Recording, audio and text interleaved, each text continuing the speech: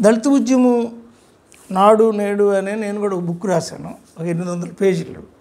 ఈ పుస్తకం రాసే క్రమంలో దళిత ఉద్యమాన్ని పూర్వం నుండి మనం తీసుకుంటే కష్టం కానీ అంబేద్కర్ గారి నుంచి మనం తీసుకుంటే అంబేద్కర్ గారు దళిత ఉద్యమానికి త్రిసూత్ర త్రిచరణాలతో కూడినటువంటి దిశానిర్దేశం చేశారు.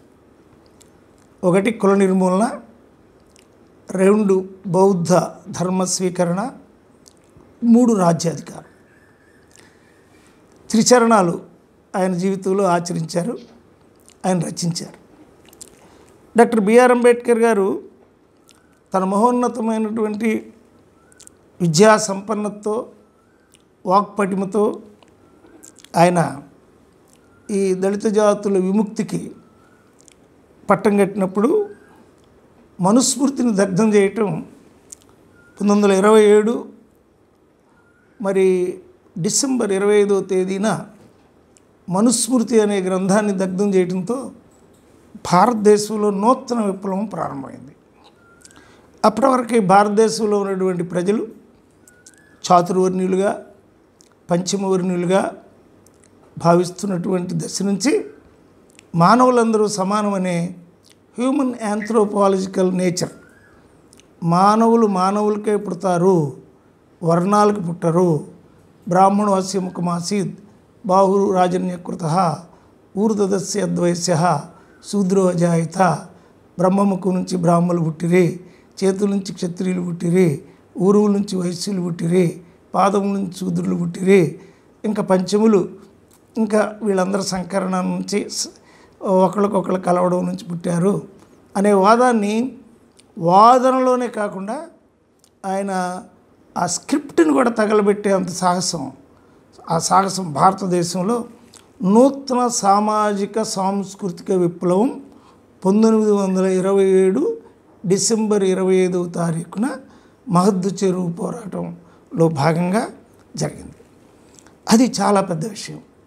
మొత్తం చాతుర్వర్ణ్యాలన్నీ ఉలిక్కిపడ్డాయి. గాంధీ గారు ముఖ్యంగా ఏ చాతుర్వర్ణ్యం మీదైతే పునాది వేసుకొని ఆయన గాంధీ గారు ఆయన అంబేద్కర్ గాంధీ అనే పుస్తకంలో కూడా ఇది మనం వివరించడం జరిగింది. ఏ గాంధీ గారు ఏ చాతుర్వర్ణ్య పునాదుల మీదైతే భారతదేశాన్ని నిర్మించ పునర్నిర్మించాలనుకుంటున్నాడు ఆధునిక భారతానికి కూడా అదే చాతుర్వర్ణ్య వ్యవస్థ మరియు పంచమవర్ణ వ్యవస్థ. ఈ ఈ పంచమవర్ణ వ్యవస్థను చాతుర్వర్ణ్యాల్లో మిళితం కాకుండా చేయాలనే దుర్వ్యూహాన్ని అంబేద్కర్ ఛేదించాడు.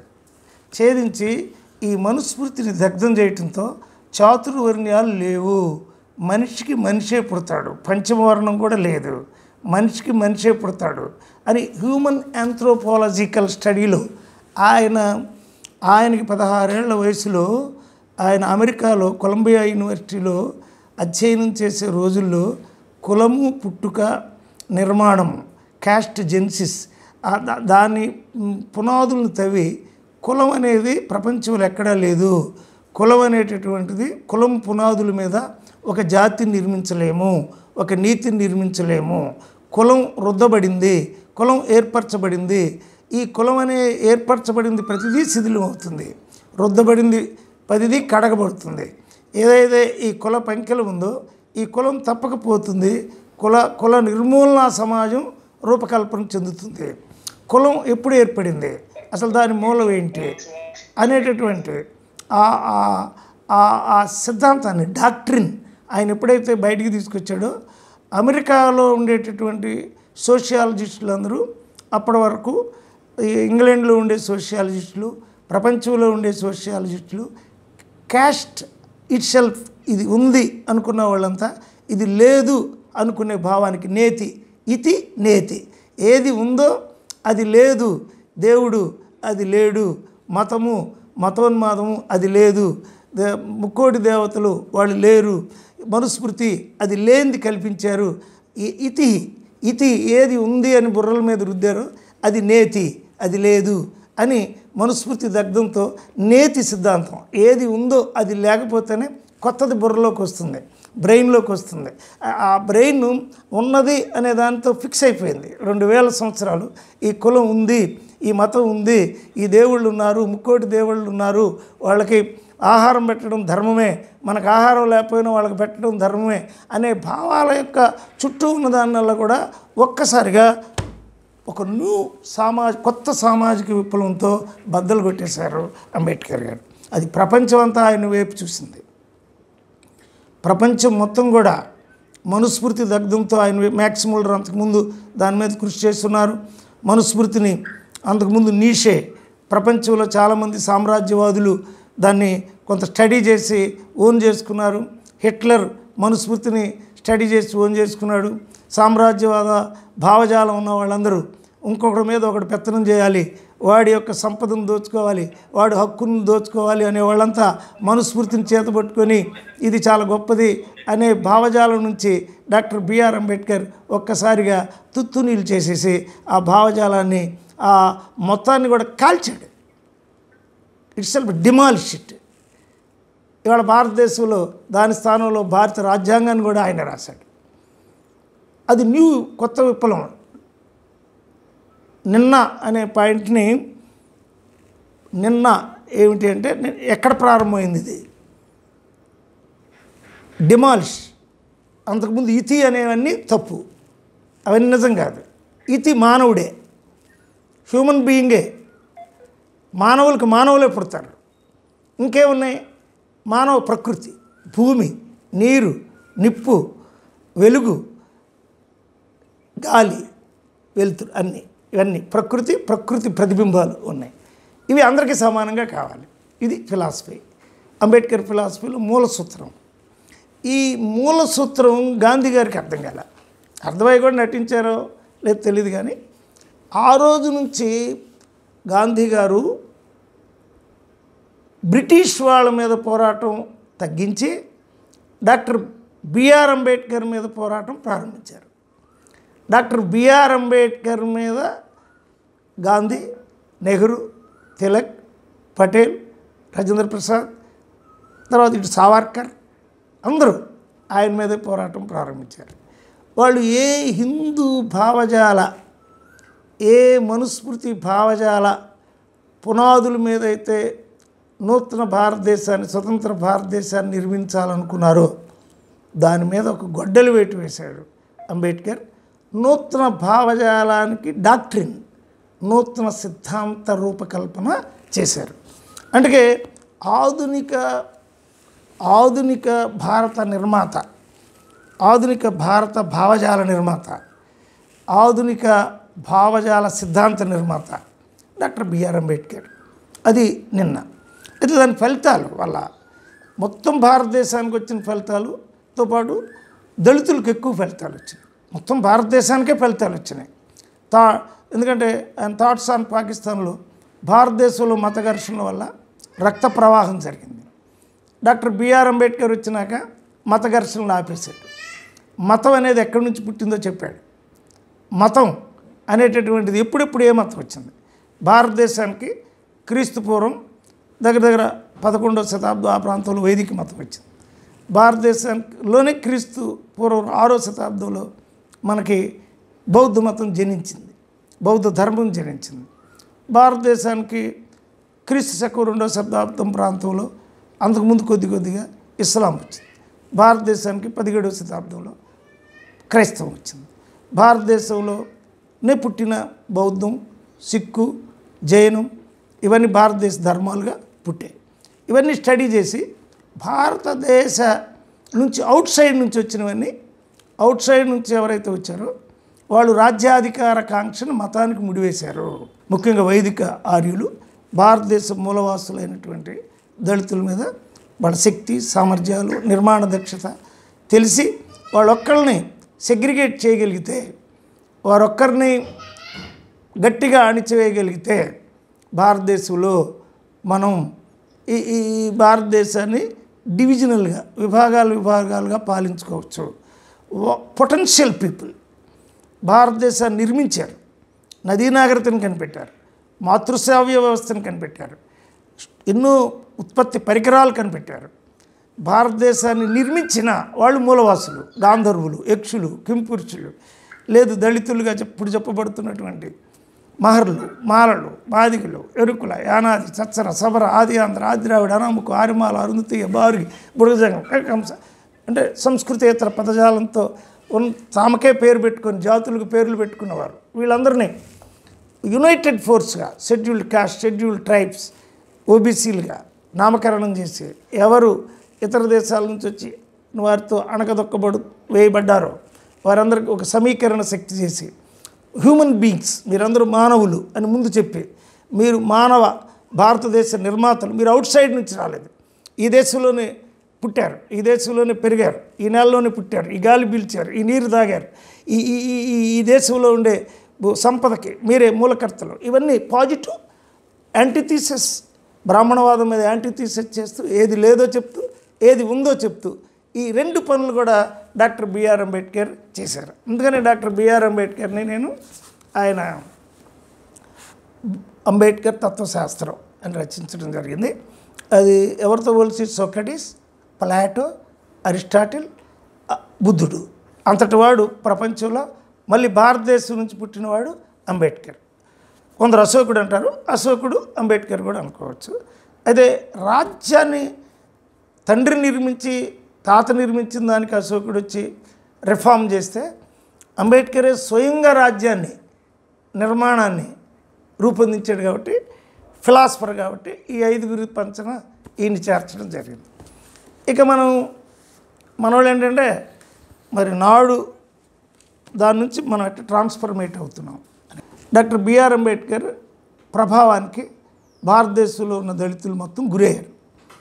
నీతి నిజాయితీ వ్యక్తిత్వం విద్య రూపం వాక్కు దృక్కు అన్నీ ఉన్న నాయకుడు భారతదేశంలో లూథర్ కింగ్ లాంటి వాడు లేదా ఫ్రెంచ్ రివల్యూషన్ యొక్క కంటెంట్స్ ఉన్నవాడు గాంధీ కంటే గొప్పవాడు గాంధీ కంటే ఎక్కువ చదువుకున్నవాడు నెహ్రూ కంటే ఎక్కువ చదువుకున్నవాడు లండన్లో చదువుకున్నవాడు అమెరికాలో చదువుకున్నవాడు బాన్ యూనివర్సిటీ జర్మనీలో చదువుకున్నవాడు బహుభాషలు వచ్చినవాడు మాట్లాడటం వచ్చినవాడు నీతి తెలిసినవాడు. కాబట్టి ఈజ్ మై లీడర్ ఒక్కసారిగా గుర్తించేశారు. నైన్టీన్ ఇరవై ఏడులో ఆయన గుర్తించిన తర్వాత అన్న పంతొమ్మిది వందల ముప్పై రెండుకి వచ్చేటప్పటికి ముప్పై ఒకటి ముప్పై రెండు దగ్గర దగ్గర ఆ ప్రాంతాలకు వచ్చేటప్పటికి న్యూ మేనిఫెస్టో కూడా పంతొమ్మిది వందల ముప్పై ఆరు నూతన రాజకీయ వ్యవస్థ ఎలా ఉండాలి? లేదు అసలు దళితులు విముక్తి కావాలంటే ఏమేం కావాలి? ఇటు అనేక వేల సంవత్సరాలు సర్కారణాలు చరిత్ర మళ్ళీ మనం చాలా లోతైన అదొక సబ్జెక్ట్. ఏం కావాలన్నప్పుడు ఆయన కొన్ని హక్కులు మనకి సాధించాడు. కొన్ని రిమైనింగ్వి మనల్ని సాధించుకోమన్నాడు. ప్రధానంగా ఆయన జాన్ బ్రూయు శిష్యుడిగా ఆయన ఏమి నమ్మాడంటే విద్య. విద్య అనేటటువంటిది మానవుల్లో ఉండేటటువంటి నేతి భావాలు. దేవుడు దెయ్యము బానిసత్వము బెగ్గింగ్ అడుక్కోవటము న్యూనతాభావమును తొలగించి సెల్ఫ్ రెస్పెక్ట్ ఆత్మగౌరవము ఆత్మస్థైర్యము పునర్నిర్మాణము సోషలైజేషన్ సామాజికీకరణ రాజకీయ భావజాలం ఇవన్నీ వస్తాయి. కాబట్టి ఎడ్యుకేషన్ ఈజ్ మోర్ ఇంపార్టెంట్ అని ఆయన భావించాడు. ఆయన ఎడ్యుకేషన్ కోసం ఆయన ఇతర ఖండాలకు కూడా వెళ్ళగలిగాడు కాబట్టి. ఆ ఎడ్యుకేషన్ అనేటటువంటి దాన్ని దళితులు గొప్పతనం పాజిటివ్గా తీసుకుంటే ఎడ్యుకేషన్ అనేటటువంటి స్లోగన్ అందుకున్నాక ఎటువంటి పరిస్థితుల్లో ఉన్న దళితులు కూడా తన బిడ్డను చదివించుకోవాలి అనే భావం ఒక పెద్ద భావం ఒక భావం ప్రపంచంలో అంత పెద్ద భావం ఒకేసారి ఏ జా ఎవరికి పుట్టలేదు. ఒక పెద్ద భావం కలిగించాడు ఆయన.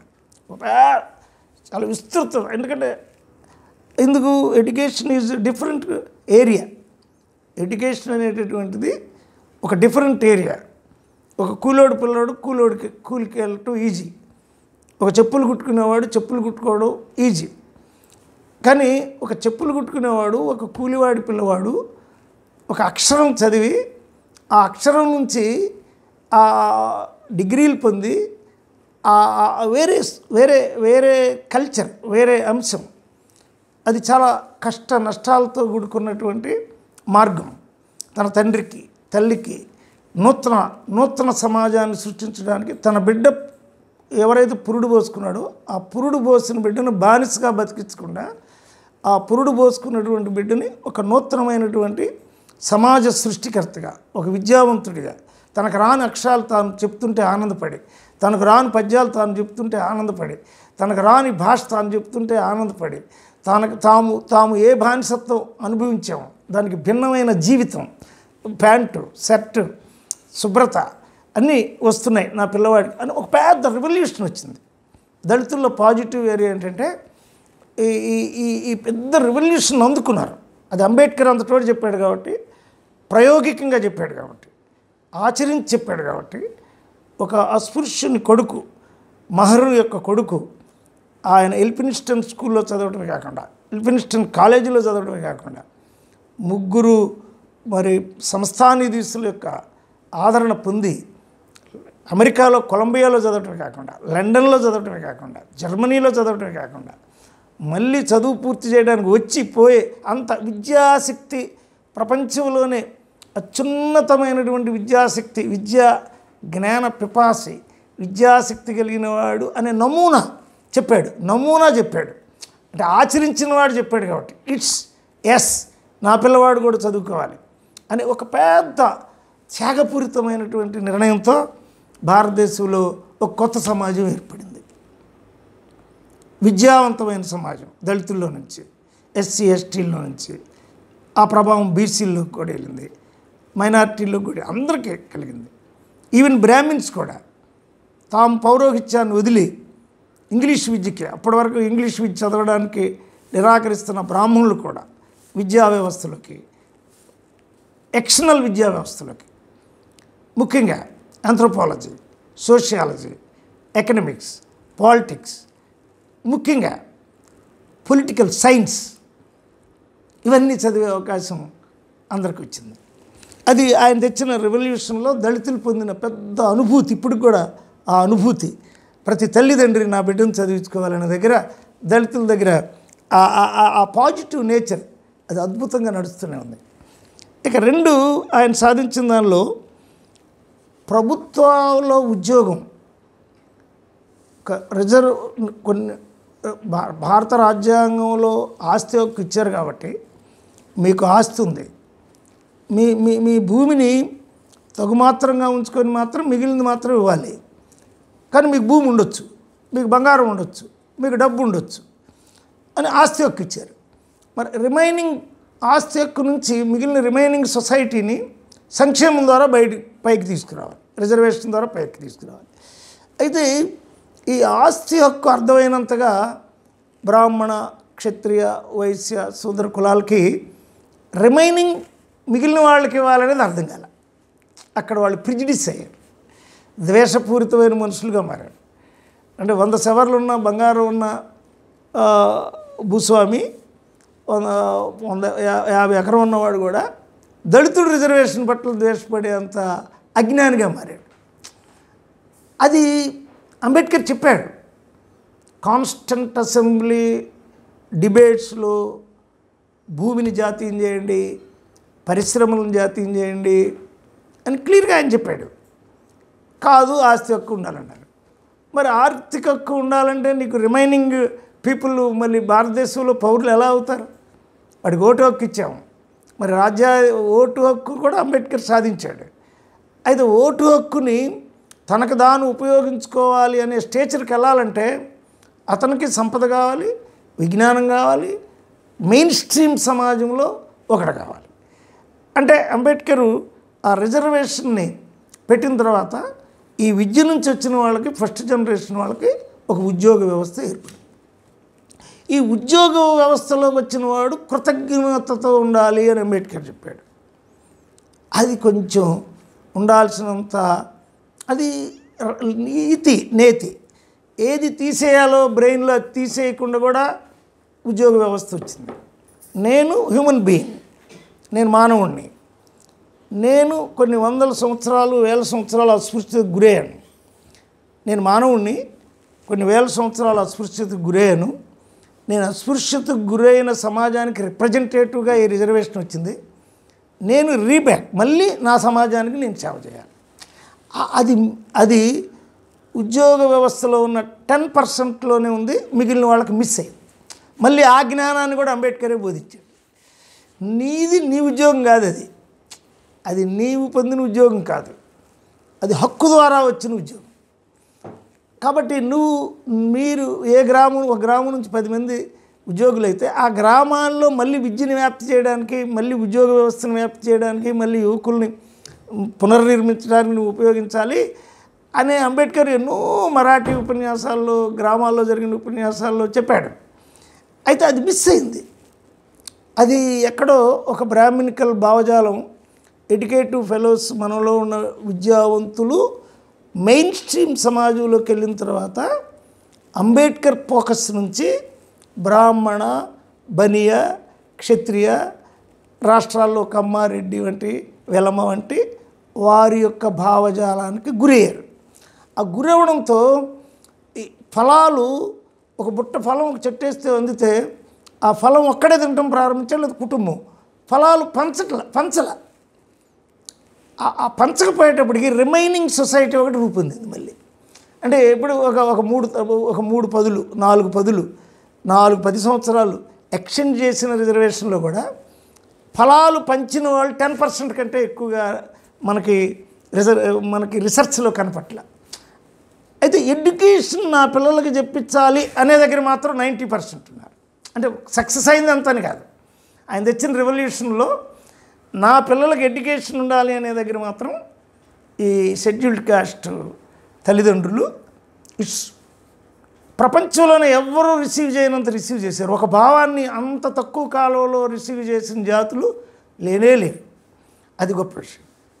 అయితే నేను పొందిన ఫలాలు నేను పొందిన ఫలం నేను ఎక్కడి నుంచి పొందాను? నేను ఎక్కడి నుంచి పొందిన దాన్ని మళ్ళీ నేను ఎలా నేను నా సమాజానికి తిరిగి తీసుకెళ్ళాలి? ఇటువంటి ఎయిమ్స్ లాంటి సమా సంఘాలు సంస్థలు వ్యక్తులు వ్యవస్థలు సునీల్ లాంటి గారు వారు ప్రవీణ్ కుమార్ లాంటి వారు మాధవరావు గారు లాంటి వాళ్ళు గోపాలరావు లాంటి అర్జున్ రావు అప్పుడు కొద్దిగా మంది. మాధవరావు గారు ఎక్కువ మాకు కోఆపరేటివ్గా ఉండేవాడు. ఇది కారంచేడు చుండూరు. కొంతమంది ఉన్నారు. ఎక్కువ మంది ఉన్నారు. టెన్ పర్సెంట్ వేసుకోవచ్చు అనుకుంటున్నాను నేను. అయితే నైంటీ పర్సెంట్ మెయిన్ స్ట్రీమ్ సమాజ భావజాలం కలిగి ఉన్నారు. అంటే అప్పుడు ఏం చేశారు? మనుస్మృతి దగ్ధం జరిగిన తర్వాత గీతా ప్రెస్ పెట్టి కలకటాలో కోటి మనుస్మృతులు కోటి భగవద్ కోట్ల భగవద్గీతలు ప్రింట్ చేశారు. హిందూయిజాన్ని రైట్ చేయకపోతే దళితులు మన గ్రిప్ నుంచి పోతారు. వాళ్ళు సపరేట్ భావజాలం కలిగి ఉంటారు. అంబేద్కర్ భావజాలంలోకి వెళ్తారని. గాంధీ నెహ్రూ సావర్కరు అందరూ ఈ వెనకుండి టాటాలు బిర్లాలు అందరూ కలిసి మళ్ళీ హిందూ భావజాలాన్ని రెచ్చగొట్టారు. అది రిజర్వేషన్ వ్యతిరేక భావజాలం. ఇప్పుడు మన జగన్మోహన్ రెడ్డి గారు మోడీ గారు వీళ్ళిద్దరు కూడా రిజర్వేషనేతరమైన సమాజాన్ని సృష్టించాలి అని ప్రయత్నం చేస్తున్నారు. అంటే వస్తుంది అటువంటి రాజ్యాలు వస్తాయని కూడా అంబేద్కర్ చెప్పాడు. అటువంటి రాజ్యాలు కూడా వస్తాయి. అప్పుడు మనం సన్నద్ధంగా ఉండాలి.